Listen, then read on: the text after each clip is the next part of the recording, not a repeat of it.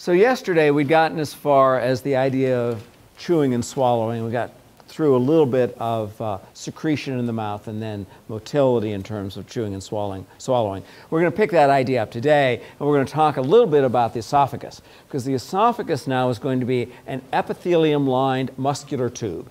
Now, it's true, wherever we go in the GI tract, we have a, a continuous layer of epithelial cells, and that's true here in the esophagus as well we have a series of epithelial cells attached to an underlying muscle layer.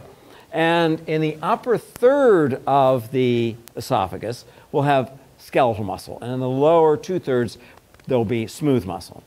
The skeletal muscle is the muscle that's activated by lower motor neurons found in the brainstem. These, this is the, these are the lower motor neurons that are activated when you get that wad of chewing gum too far back and you lose control of it and you activate the reflex of the swallowing reflex. And we'll talk a little bit about that.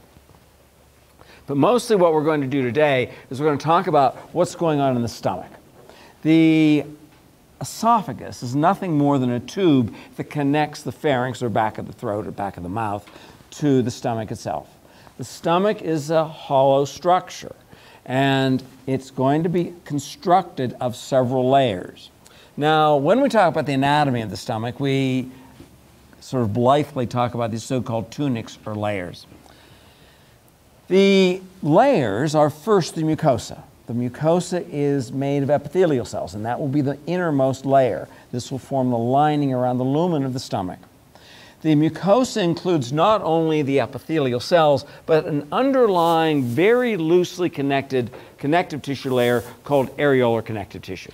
There'll be some blood vessels in this. And then beyond this areolar connective tissue, there's then the submucosa. Submucosa is basically connective tissue, but it's enriched for elastin, and that should be no surprise. After a big meal, you know you can actually distend your stomach. And that distension comes from the ability of having the submucosa with its elastin filaments able to stretch.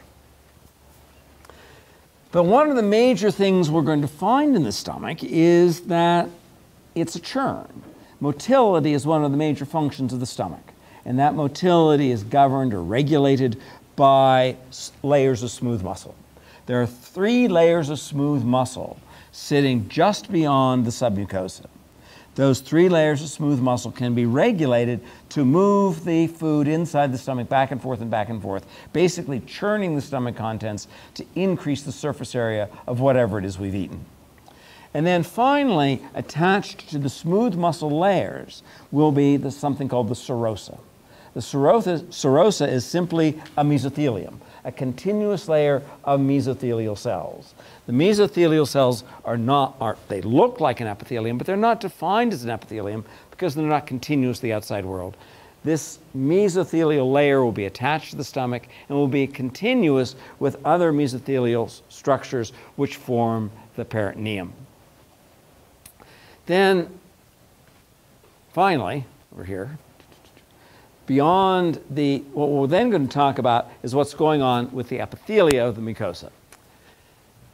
When we think about the function of the stomach, of course, there's motility, which is the smooth muscle, but beyond that, there's going to be secretion from the mucosa. The mucosa is going to be this complicated set of epithelial cells that are regulating the secretion of any number of molecules. The first set, subset of epithelial cells we're going to talk about are things called goblet cells. The goblet cells, the function of the goblet cell is simply to secrete mucus. They're similar to the epithelial cells in the salivary glands we talked about yesterday, where they're able to secrete a sort of slippery, slimy mucus. But now these goblet cells are generating a mucus layer that's going to lie on the apical surfaces of the epithelial cells. This becomes a protective layer because one of the things we're going to find as we work our way through this is that the contents of the stomach is remarkably corrosive. It has a pH down around 2 and it's chock full of proteolytic enzymes. So the contents of the stomach are capable of digesting, literally, the epithelial cells of the mucosa.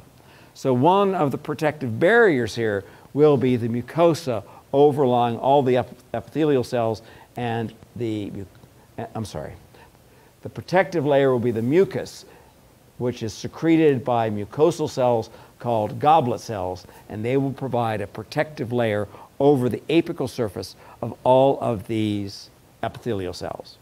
Now, in addition to the epithelial cells forming the lining of the stomach, there are a subset of epithelial cells that are thrown into these folds. Now, the way I'm going to draw it is going to remind you of a, a, an exocrine gland, but in fact, it won't be quite that simple. There'll be several cell types. This is going to be called a gastric pit, and included in the epithelial cells, which I'd appreciate it, included in the epithelial cells of the gastric pit, will be cells called chief cells. The function of the chief cell is to release a molecule called pepsinogen. Now, it's worth looking at this molecule because it has this suffix, OGEN. We ran into this earlier when we were talking about renin and angiotensinogen. Well, here we have pepsinogen. It's an inactive precursor. It doesn't digest anything. But once it gets out into the lumen of the intestine, this pepsinogen will be converted into an active component called pepsin. And the pepsin then is a proteolytic enzyme capable of converting proteins into peptides. And we'll see a little bit about how that's done. The major player we're going to spend some time on here are the parietal cells. The function of the parietal cells are to secrete hydrogen ion. Now, for a long time, it was thought that the hydrogen ion played a role in digestion because we could acidify the contents of the stomach. and also thought that was uh, important in digestion. It turns out it's not. Mostly the reason we secrete hydrogen ion into the lumen of the stomach is to inhibit bacterial growth. Now, we don't have to go, very, go back very far in time when almost every meal we would take in had a lot of bacteria with it. And this is one of the places where we inhibit that proliferation of bacteria. Probably in our modern world with, with decent public health systems, it's not such a big deal but not so long ago, it really was important to us.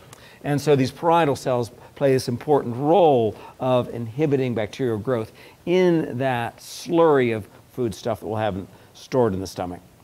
But the parietal cells are not active all the time. They're only active after a meal. And so I want to talk a little bit about how we regulate the function of the parietal cells. And this will be part of the hormonal secretion story that we find in the mucosa of the stomach.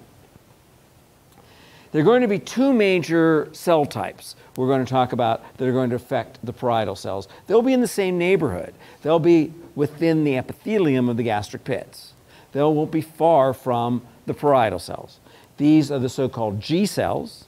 The G cells get their name because they release a peptide hormone called gastrin. The gastrin goes out into the blood vascular compartment and in the blood vascular compartment functions as a true endocrine hormone will through, go throughout the blood vascular system and find its way back and bind G protein coupled receptors on parietal cells. The enterochromaffin like cells are also epithelial cells, but they're really just a fancy mast cell because they release histamine. And the histamine molecules are now going to function in a kind of paracrine fashion. The enterochromaffin like cells, sometimes known as the ECL cells, these ECL cells will be located not very far away from the parietal cells. And the histamine released on the basolateral side can diffuse through the extracellular space and bind to G protein coupled receptors on the parietal cells. So the major regulating molecules for the parietal cells and their release of hydrogen ion will be gastrin, histamine, and then the third character that we see over and over again in digestion, acetylcholine from the parasympathetic branch of the autonomic nervous system. We'll talk a little bit about the muscarinic receptors here. But in all three of these cases, they're G protein coupled receptors. So let me show you this picture because I think it's a, it's a, a pretty picture and it, it gives you a much more realistic view of the salivary glands than that simple series of blue ovals I put on the board. So to orient you here, this is, this is going to be the salivary duct, and these are the, this is the duct epithelium, and if we'd follow this duct, it would go out into the surface of the tongue or the sublingual gland, someplace in the mouth. Now, some of these branches here, and they've shown this is a sort of a composite kind of salivary gland, and we simply showed one type last time, which would be this so-called serous acinus. These are the acinar cells that are releasing the fluid, the, the dilute uh, saliva that goes out and forms saliva in your mouth. But there are also these other, other glands which not only generate the, the watery saliva, but also generate a kind of mucus saliva, and that's what allows us to make the food we eat slippery so that it's easier to swallow. So we've managed to chew the food, we've managed to moisten it, we've managed to make it swallowable, and I just want to take a moment here to talk about, again, my crude mouth and pharynx and esophagus, where back here is the soft palate. And the soft palate contains sensory neurons. And these sensory neurons find their way, sensory neurons find their way during development to the brainstem.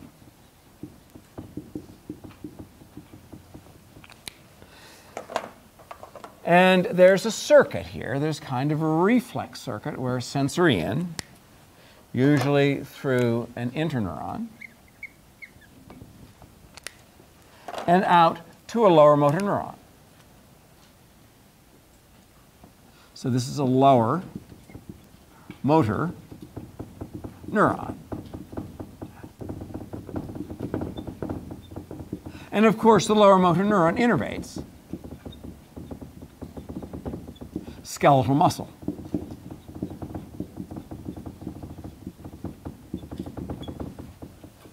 If we look at the muscle in the back of the throat, the pharynx, and also extending into this tube, which is the esophagus,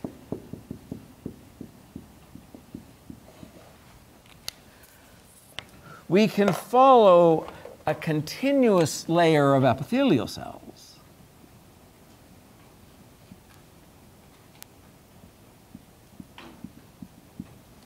But outside that continuous layer of epithelial cells will be a layer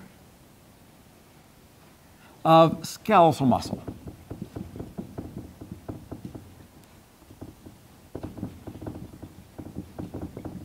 The upper one third of the esophagus, at least in humans, contains skeletal muscle.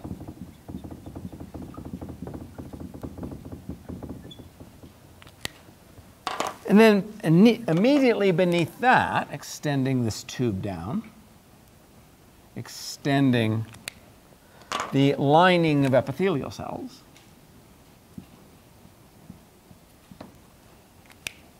around that region in the lower two thirds, this is not drawn to scale, in the lower two thirds, we have smooth muscle.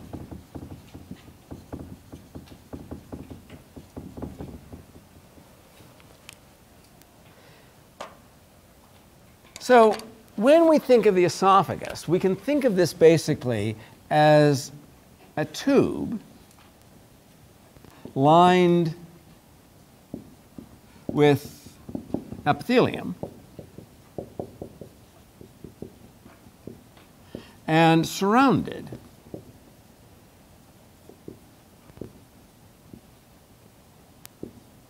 by skeletal and smooth muscle.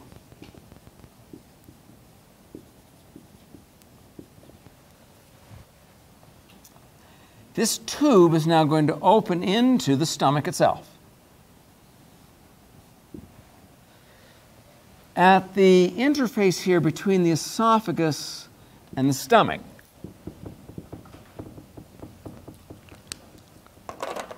Is a smooth muscle, sphincter. The sphincter has a name. It's called the esophageal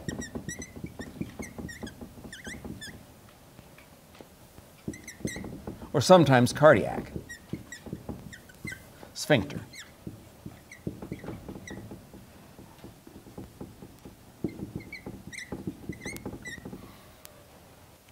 The function of the sphincter is to open when we swallow food and allow food to come into the stomach. But under normal circumstances, the sphincter ought to be closed tightly. Because one of the things we're going to see here in a moment is the contents of the stomach are constantly being churned back and forth and back and forth by smooth muscle layers around the stomach. If this sphincter doesn't work properly, if it doesn't hold itself tightly closed, there's a potential for contents of the stomach to be regurgitated into the esophagus. This is an esophageal reflux disease. Now, this becomes dangerous because the contents of the stomach, we'll see here in a moment, not only contain proteolytic enzymes, but also have a pH down less than 2. So this is a really corrosive kind of, of contents of the stomach. Now, the lining of the stomach is going to be protected by a layer of mucus, but there isn't a mucus layer over these epithelial cells. And so the concern is that if the esophageal sphincter is no longer competent to prevent the movement of the contents of the stomach up into the esophagus, what we commonly call heartburn. If it isn't competent, then over time, the contents of the uh, esophagus, I'm sorry, the contents of the stomach will erode the epithelial cells of the esophagus. And in some cases, over long periods of time, this can make the epithelium of the esophagus subject to becoming carcinomas. So you get cancers sometimes from the continual destruction of these epithelial cells and their failure to divide properly. So we go to great lengths to provide people with medications which prevent mostly the acidification of the stomach contents so they don't damage those epithelial cells. But fundamentally, every time we swallow, the motility of chewing and swallowing is continuing to the motility of the skeletal and smooth muscle, bringing a bolus of food into the stomach. So, what I want to think about now, though, on this panel over here, is the anatomy of the stomach. And what I mean by the anatomy of the stomach is I mean the layers, which are often called tunics of the stomach. And we'll start from the inside. So I, I need a, an outline here, so I'm going to draw the outline in black. But all along the inside here is going to be a continuous layer of epithelial cells. So this is going to be an epithelium. These epithelial cells are attached to a loosely organized, a, loose, loosely organized layer of areolar connective tissue.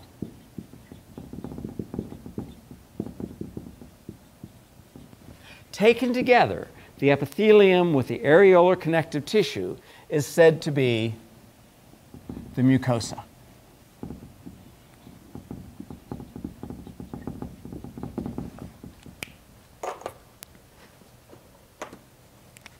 Now, immediately below that below the loose connective tissue and the epithelial cells. And I'm going to show this as a, a layer in orange. all the way around the stomach is a region called the submucosa. Now, the submucosa is fundamentally connective tissue.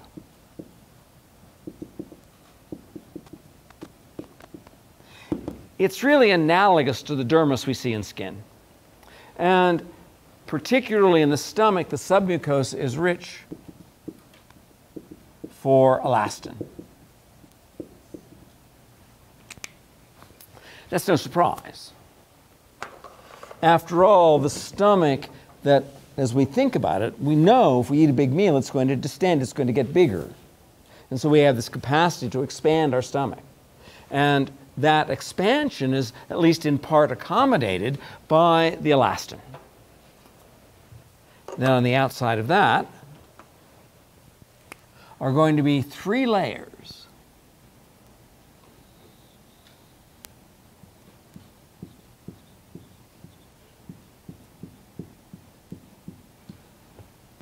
Attached to the submucosa will be these layers of smooth muscle.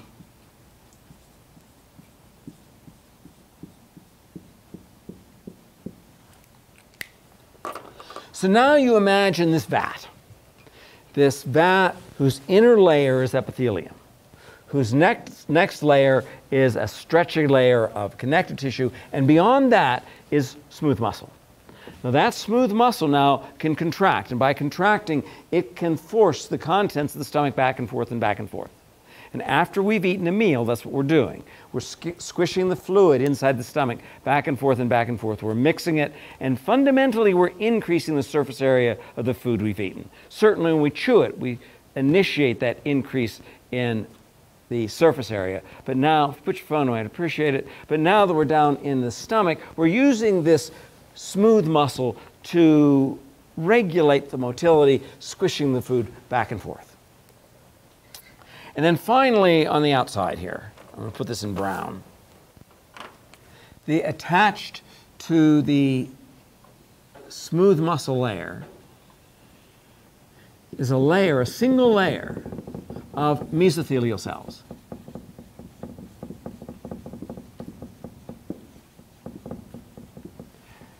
Now, this mesothelium will attach to the smooth muscle. It will actually uh, extend around, and attach to the body wall, and become something known as a peritoneum.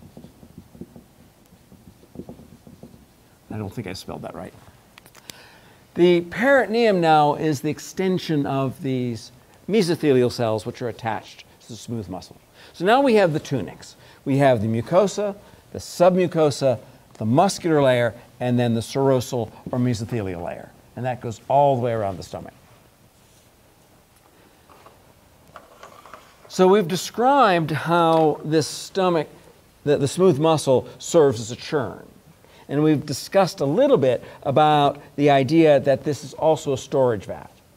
And if you look at different animals, you find that different animals have a different proportional volume of their stomach to their body size. And some of the smallest stomachs in terms of body size occur in herbivores where herbivores are out grazing all day long. So they're taking food in all the time and all the time, and they're simply passing it through the stomach. And you find then some of the largest stomachs, ours, is, ours and pigs are pretty much intermediate, so we eat now and again. But some of the largest stomachs are in animals that only eat occasionally and tend to be lower on the predatory food chain. So a classic example of large stomachs is in dogs or canids. If you think about what canids do, what they have to do for a living, is they have to go out in a pretty, a pretty hostile world, find something to eat, eat it quickly before the higher order predators get there, and, and, and then retreat. And you see this in dog behavior all the time. I mean, if your dogs are like my dog, you put the food down and it's gone in about 20 seconds. And so these guys, these guys are really programmed to eat fast. And they store the food in their stomach. And this is particularly true for a bitch and her pops. And what she'll do is she'll go out and she'll find food. And she'll gobble down as much food as she can. And she effectively will store it in her stomach. So she has this big vat. And then she will come back to where her den of pups are. And then she won't exactly vomit. She'll actually she'll reverse the, the peristalsis and regurgitate the food and present it to the pups. So it's partially digested, and as she's weaning her pups, she can provide them with this partially digested food. But what's more, this stomach on a dog has to be enormous with respect to its body size, simply to act as that storage vat. So the function of the stomach is fundamentally to be a churn and a storage vat, but in addition to the churn and the storage vat, we do begin to do some level of secretion. We're going to next talk about the secretion of proteolytic enzymes, and then following that, the secretion of acids, because we'll find that the pH of the stomach contents could be less than 2. So the underlying tissues are at a pH of around 7, and the pH of the stomach contents could be less than 2. That's five orders of magnitude more acidic. So this is a really acidic set, uh, environment. But now let's think a little bit about the epithelial cells of the mucosa. So what I'm going to do here in this panel is describe the epithelial cells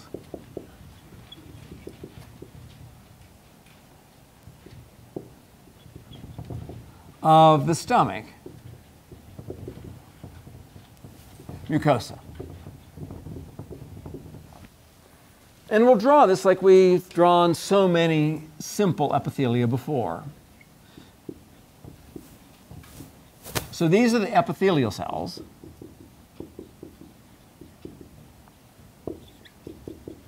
of the stomach.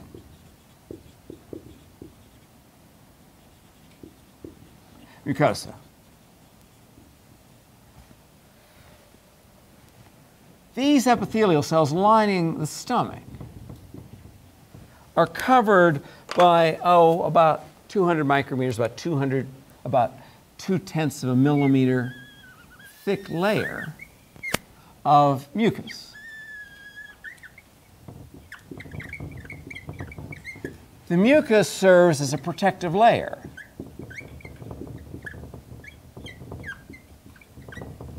Lying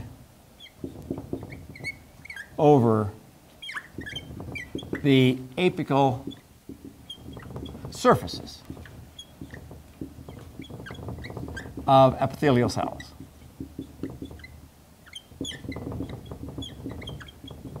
So these epithelial cells are covered by a layer of mucus, really protecting their delicate apical surfaces from the proteolytic enzymes and low pH of the stomach content, contents. But there's an extension here of epithelial cells.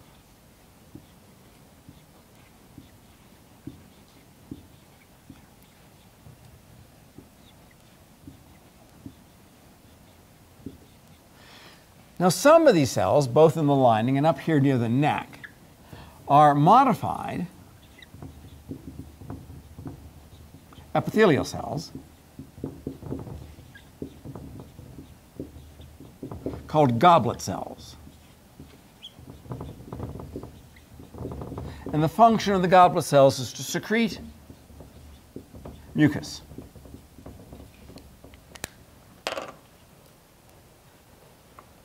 But down here in this structure, I'm going to put an arrow to it and name it as a gastric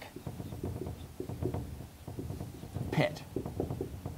Down within the gastric pit, there are specialized epithelial cells.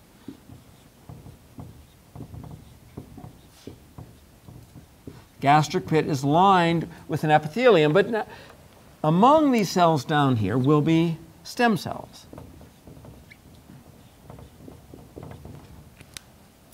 One of the characteristics of the mucosa throughout the gastrointestinal tract is we have stem cells that are continually dividing to replace the overlying cells. It, it turns out that we'll turn over all of the epithelial cells in our mucosa of our stomach and small intestine in a matter of 10 days to two weeks. We're constantly making new cells. And these stem cells are largely undifferentiated epithelial cells. And then they can differentiate into goblet cells or some of the other secretory cells we're going to talk about here in a moment. So one of the characters I want to put in here, I'm going to put it here in, in red. This is said to be a chief cell.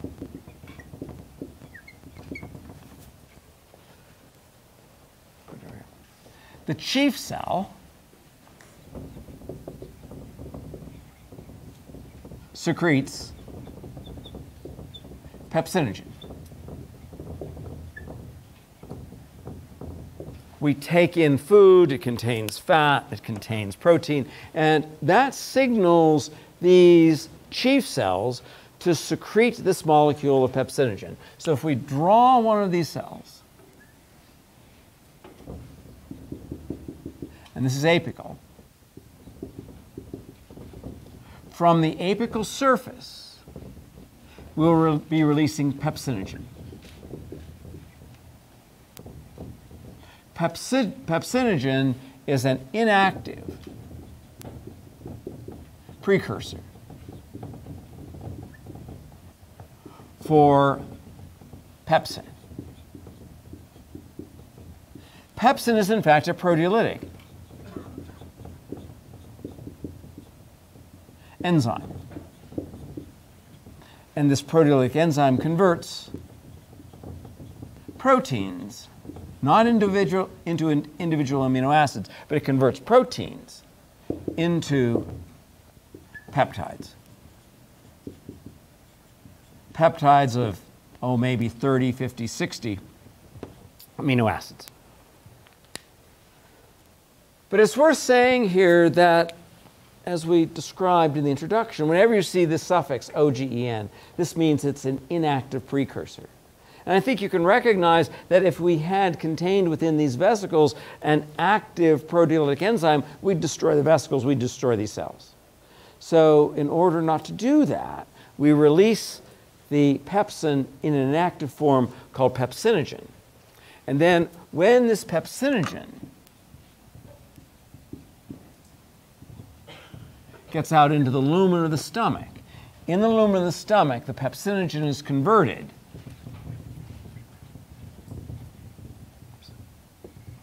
to pepsin. It's a remarkably simple step. There's a, there is an amino acid sequence that lies over the active site in the pepsin molecule. And the active, any active pepsin molecules out here in the lumen of the stomach now will cut loose that little peptide. And when you cut loose that little peptide, it opens up the active site and the pepsinogen becomes activated as pepsin, and it's now capable of converting proteins into peptides. But there's another character in here. I'm going to put this one in in purple. And this cell type is called a parietal cell. The function of the parietal cell is to secrete hydrogen ion to acidify.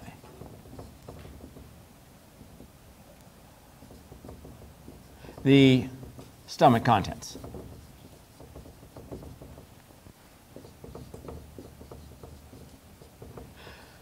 One of the things I'll emphasize here, we'll come back to, is that the parietal cells under hormonal control.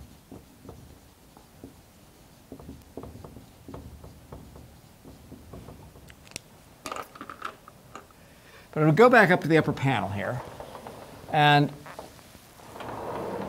draw one of these parietal cells as a larger cell so we can begin to think about how it generates hydrogen ion and how it's regulated. So I'm simply going to draw that purple cell we have in the gastric pit above, make it bigger, and then begin thinking about its orientation with respect to the lumen of the gastric pit and the underlying blood vascular system. So we'll have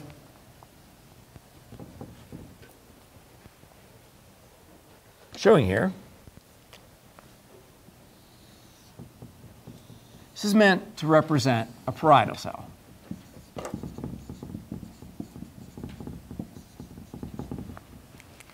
The parietal cell is attached to a basal lamina.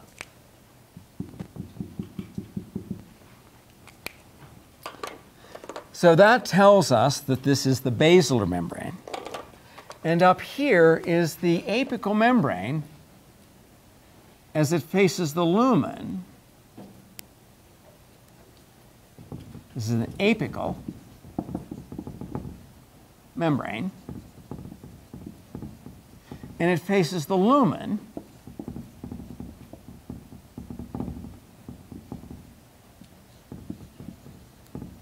of the gastric pit.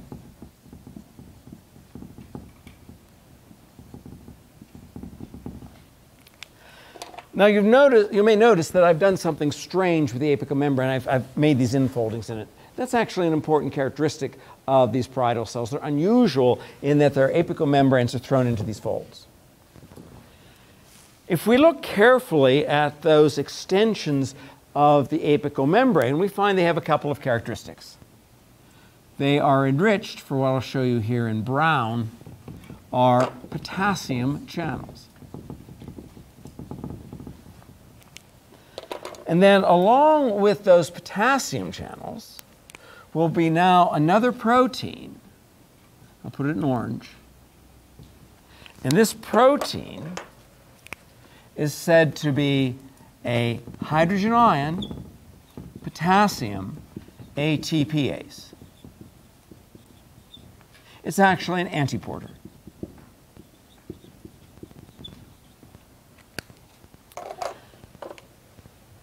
These potassium channels in these sort of blind canyons, these, these box canyons, blind ended structures, blind alleys, if you will, by having potassium channels here, we now allow potassium to flow out of the cell. Because remember, the cytoplasmic concentration of potassium is always 110 millimolar or so. But if there's no potassium out here, we have channels, it will flow down its concentration gradient, the potassium will leave. So potassium goes out here and increases the potassium concentration. Then this potassium, I'm sorry, the hydrogen potassium ATPase can snag a potassium ion on the outside and it can snag a hydrogen ion, the hydrogen ion red, it can snag a hydrogen ion in the cytoplasm. And then when it cleaves ATP to ADP and PI, the hydrogen ion is kicked out to the outside and the potassium ion comes back into the cell. So in this way, if we go back up to our upper panel here,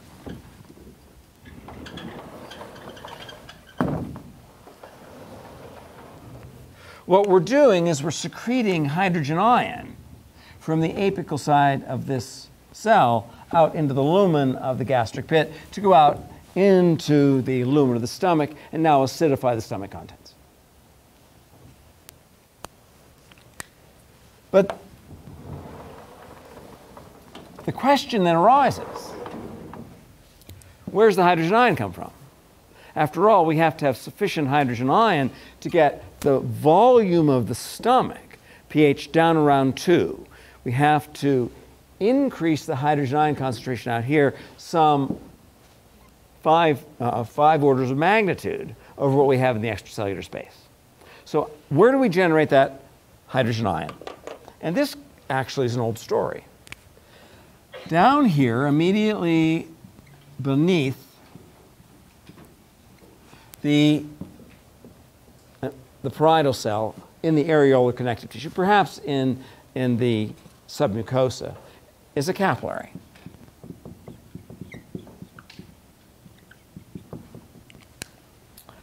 And this capillary will be carrying, at least to some extent, carbon dioxide. Carbon dioxide now can get into this parietal cell. And in the parietal cell, there's going to be an enzyme that we've seen before called carbonic anhydrase. And of course, what it will do is it will take the carbon dioxide and it will now convert, I'm sorry, carbon dioxide plus water And it will give rise to a hydrogen ion and a bicarbonate ion. This is the same story we saw in the alveolar cells, the pneumocytes of the alveolus in the lung. And in the lung, what was happening is that we were taking bicarbonate and hydrogen ion, recombining the CO2 and water, and blowing off the CO2. In the tissues, we were doing exactly this, however. In the tissues, we were taking carbon dioxide, converting the carbon dioxide into hydrogen ion and bicarbonate. The hydrogen ion in the blood was then being bound to the hemoglobin and buffered. We don't have a good buffer here. So what we do is we use this hydrogen ion to bind to the hydrogen ion potassium ATPase. We now remove the hydrogen ion from the cell, kick it into the extracellular space to acidify the contents of the stomach. Meanwhile, down here, this bicarbonate ion is moving back into the blood. After a large meal, there's sufficient bicarbonate ion moving from the parietal cells into the blood to generate something called the alkaline tide. Effectively, we are increasing blood pH. Where we're increasing the blood pH, we're using the hydrogen ion to lower the pH of the contents of the stomach. So that's how this cell secretes hydrogen ion. But the cell too is under hormonal control. So let me go back up to this upper panel and redraw it and talk a little bit about the hormonal control of these cells.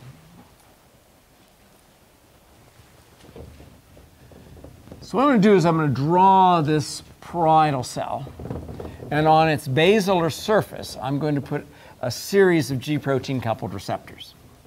And then we'll work our way back to where the hormones are originating for these G protein coupled receptors.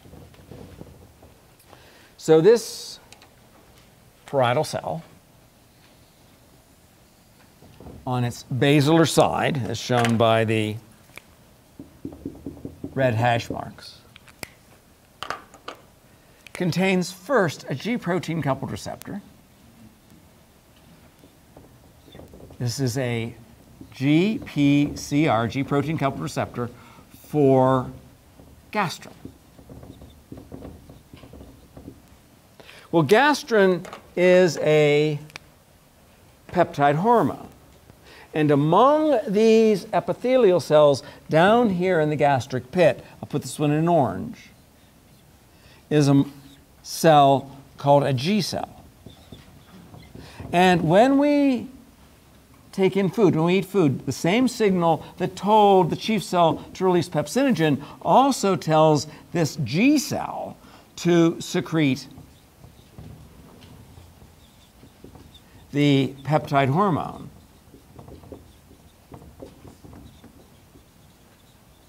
gastrin. The gastrin is released from the basolateral side of these cells. It would do us no good to put it into the lumen because it'd just be digested. So now we release the gastrin from the basolateral side. It goes into the blood vascular compartment, circulates throughout the blood vascular system, finds its way back here to the parietal cell, and binds to the G protein coupled receptor. This G protein coupled receptor now impinges on both carbonic anhydrase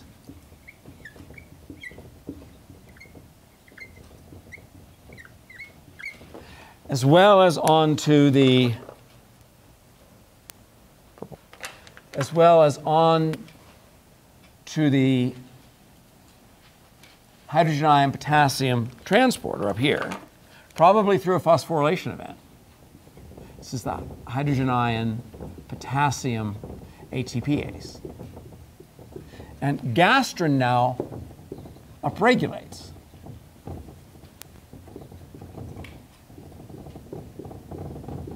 This hydrogen ion potassium ATPase. So one of the forms of control here is that we release gastrin from the G cell. The gastrin goes into the blood vascular compartment and finds its way back onto the parietal cell, telling it to release more acid. But there's another transmembrane protein here. I'll put this one out here, Let, put it in brown. And this is a G protein coupled receptor that binds histamine. Specifically, this is said to be an H2 receptor. Well, back here, I'll put in here a green cell.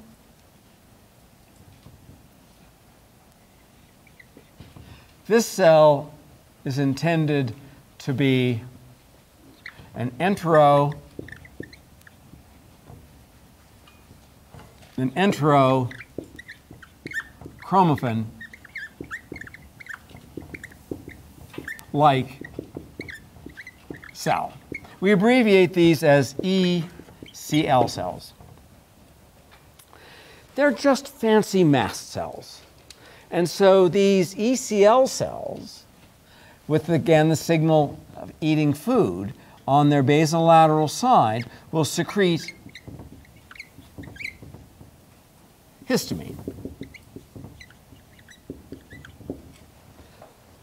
So now the parietal cells, in addition to their receptors for gastrin, also contain a receptor for histamine.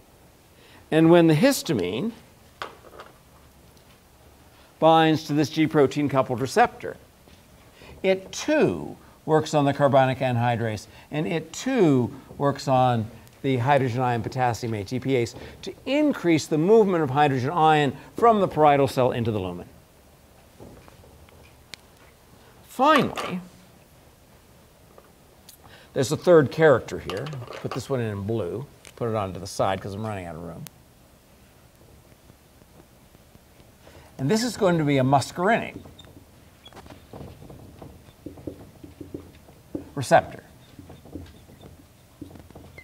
And you'll recall that whenever you see this term muscarinic receptor, remember it binds acetylcholine but it's a G protein coupled receptor for acetylcholine.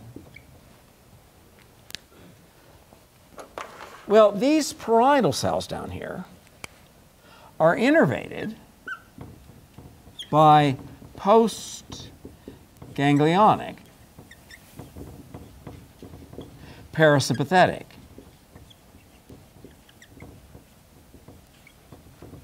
neurons. What do the post-ganglionic parasympathetic neurons release? What's the neurotransmitter?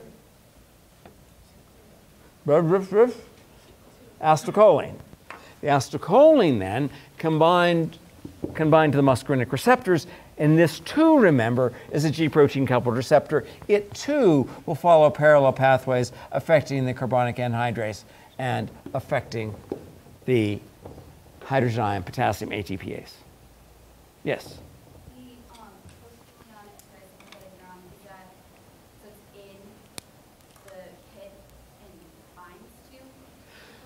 So, so what we haven't talked about here is there is this network of neurons.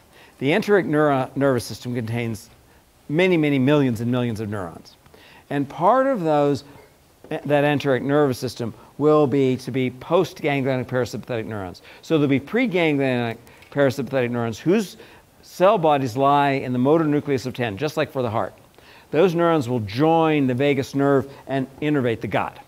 And those preganglionic parasympathetic neurons will now synapse onto postganglionic parasympathetic neurons here in the enteric nervous system. And they will then synapse in turn onto, among other cells, but they will synapse onto these parietal cells. So again, part of the rest and digest. And as we said yesterday, the acetylcholine from the parasympathetic postganglionic neurons will then activate the salivary glands. That's why your mouth waters when you eat or even think about food. And similarly, you're also almost at the same time going to be activating these parietal cells to release acid. So you have these three basically converging pathways all through G protein coupled receptors, all dedicated to the regulation of the release of hydrogen ion.